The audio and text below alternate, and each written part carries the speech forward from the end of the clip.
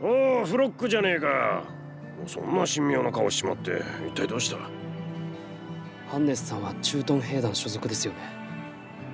巨人との戦闘経験も豊富ってわけじゃない。お前バッサリ言うな。まあ情けねえ話だが調査兵団の奴らと比べられちゃ否定はできねえな。なのにどうしてあんなに勇敢に戦えるんですか？巨人ともを前にしてンネスさんは怖くないんですか？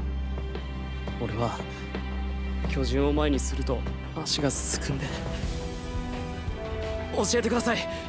怖がらずに戦う方法を。怖さを乗り越える方法ね。あるなら俺が知りてえよ。今も昔もあいつらを前にすると体が凍りついちまう。そのせいで大事な人を救えなかった。悲しませちまった奴らもいる。すみません。嫌なことを思い出させてしまいました。いやいいさ。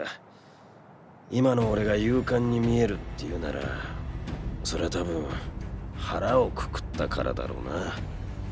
腹をくくった？ですか？